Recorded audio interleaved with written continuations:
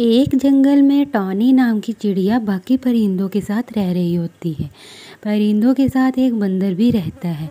Tony चिड़िया जो कि बहुत समझदार होती है, वो परिंदों से कहती है, अरे परिंदों, देखो, बारिशों का मौसम शुरू होने वाला है। और हमें इस बार भोजन लाने के लिए पहाड़ों की ओर से होते हुए बहुत दूर जाना पड़ेगा।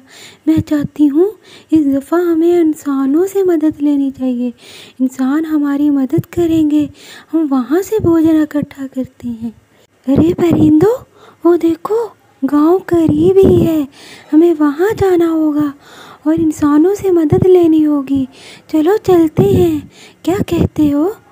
परिंदे टॉनी चिड़िया की बात मान जाते हैं, लेकिन बंदर जो कि टॉनी चिड़िया की बात सुनकर कहता है, अरे अरे टॉनी चिड़िया बहना, मैं तो नहीं जाऊँगा। सुना है इंसान बंदर को कैद कर लेते हैं। टॉनी चिड़िया, अगर मुझे कैद कर लिया तो मेरा तो मन नहीं कर रहा जाने को। मुझे तो इंसानों से डर लगता है, टॉनी चिड़िया। मैं क्या करूँ? मुझे नहीं जाना।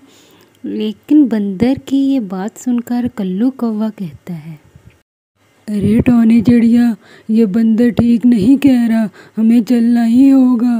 बंदर भैया, देखो, अगर हम भोजन नहीं लेकर आएँगे तो हमें मुश्किल होगी, इसलिए मेरा ख्याल है हमें चलना चाहिए। टॉनी चिड़िया बहना, बंदर की बातों को नहीं मानना, हमें चलना है। हमें इंसानों से मदद लेनी है ताकि कल को हमें परेशानी ना हो बारिशों में हमारे लिए आसानी हो। कल्लू कौवा की बात सुनकर बैंटी कबूतर कहता है जी जी टॉनी चिड़िया बहना कल्लू कौवा भैया ठीक कह रहे हैं हमें ज़रूर चलना होगा और भोजन लाना होगा वरना बहुत मुश्किल हो जाएगा। बंदर जब ये देखता है कि जंगल के सारे परिंदे इंसानों से मदद लेने के लिए और वहाँ जाने के लिए तैयार हैं। तो वो भी इन परिंदों के साथ मिलकर वहाँ से भोजन लाने के लिए राज़ी हो जाता है।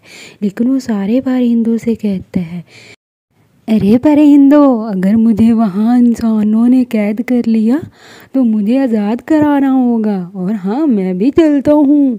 फिर ऐसा ना हो कि मुझे कैद कर लें। अगर उन्होंने मुझे कैद किया तो आप लोगों ने मुझे छोड़ कर नहीं आना। मुझे साथ लेकर आइएगा। परिंदे ये बात सुनकर फ़ौरन मान जाते हैं। अभी वो इंसानों से मदद लेने के लिए पहुँचते ही हैं कि एक शिकारी बंदर को कैद कर लेता है।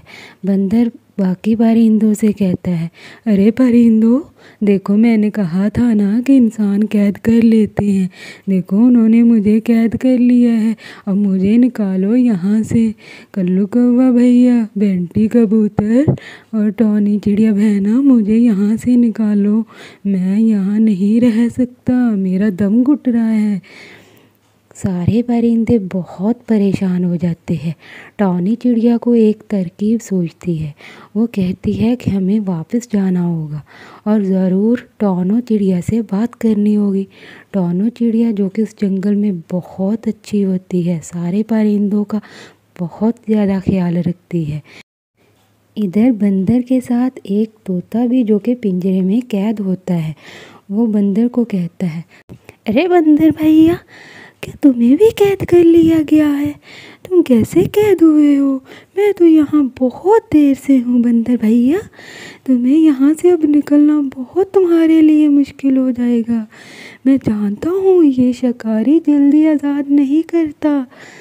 बंदर ये सुनकर बहुत परेशान हो जाता है। लेकिन इतने में टॉनो चिड़िया जो कि उस जंगल में बहुत ज़्यादा परिंदों का ख्याल रखती है, वो फ़ौरन से बंदर भैया की मदद के लिए आ जाती है। बंदर को वो जाल में देखकर बहुत परेशान होती है और बंदर से कहती है, अरे बंदर, परेशान नहीं हो। मैं अभी तुम्हें यहाँ से निकालती हूँ। तोता टोनो चिड़िया की बात सुनकर कहता है, अगर निकालना ही है तो मैं मदद कर देता हूँ। शिकारी ने ये चाबियाँ इस इस दरख्त के साथ रखी हैं। यहाँ से चाबियाँ लेकर इस बंदर को आप आज़ाद कर सकती हैं। तोता भैया की बात सुनकर बहुत खुश होती है। वो वहाँ से चाबियाँ लेकर बंदर को आज़ाद कर देती है और बंदर को वापस जंगल जाने का कहती है। लेकिन बंदर भैया कहते हैं, नहीं नहीं, टानो चिड़िया, मुझे यूँ नहीं जाना होगा। ये मेरे बहुत अच्छे दोस्त हैं, हमें इसे भी आज़ाद करना होगा। टानो चिड़िया दोनों की इस नेकी पर बहुत खुश होती है कि किस तरह से एक दूसरे का साथ दिया। इस तरह टोनो चिड़िया तोता भैया को भी वहाँ से आज़ाद कर देती है। तीनों बहुत खुश होते हैं और खुशी खुशी शाम होने से पहले पहले अपने जंगल वापस लौट जाते हैं। तोता बंदर भैया की इस नेकी पर बहुत खुश होता है। वो बंदर को दिल से दुआएँ देता है। यूँ जंगल में सारे परिंदे मिलजुल कर रहते हैं।